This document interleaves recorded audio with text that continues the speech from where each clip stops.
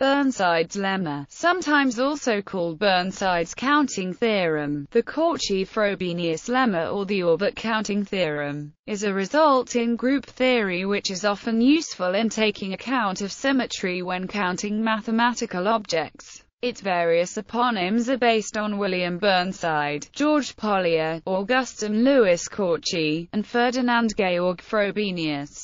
The result is not due to Burnside himself, who merely quotes it in his book, On the Theory of Groups of Finite Order, attributing it instead to Frobenius. In the following, let G be a finite group that acts on a set X. For each G in G let Xg denote the set of elements in X that are fixed by G, i.e., Xg equals XX, G, X equals X. Burnside's lemma asserts the following formula for the number of orbits, denoted x, g. Thus the number of orbits is equal to the average number of points fixed by an element of G. If G is infinite, the division by G may not be well defined. In this case the following statement in cardinal arithmetic holds. Example application. The number of rotationally distinct colorings of the faces of a cube using three colors can be determined from this formula as follows. Let X be the set of 36 possible face color combinations that can be applied to a cube in one particular orientation, and let the rotation group G of the cube act on X in the natural manner.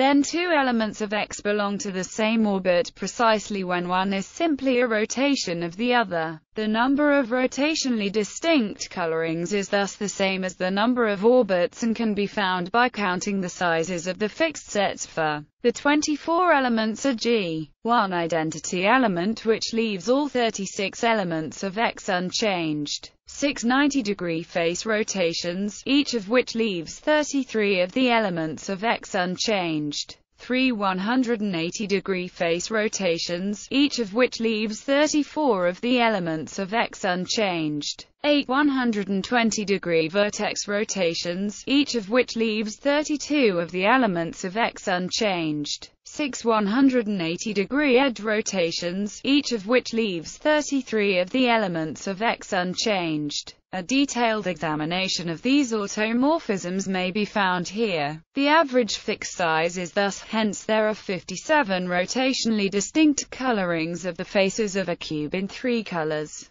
In general, the number of rotationally distinct colorings of the faces of a cube in n colors is given by proof. The first step in the proof of the lemma is to re-express the sum over the group elements GG as an equivalent sum over the set elements XX. The orbit stabilizer theorem says that there is a natural bijection for each xx between the orbit of x, gx equals g, x, gg, x, and the set of left cosets g, gx of its stabilizer subgroup gx. With Lagrange's theorem this implies ah, R sum over the set X may therefore be rewritten as finally. Notice that X is the disjoint union of all its orbits in X, G, which means the sum over X may be broken up into separate sums over each individual orbit.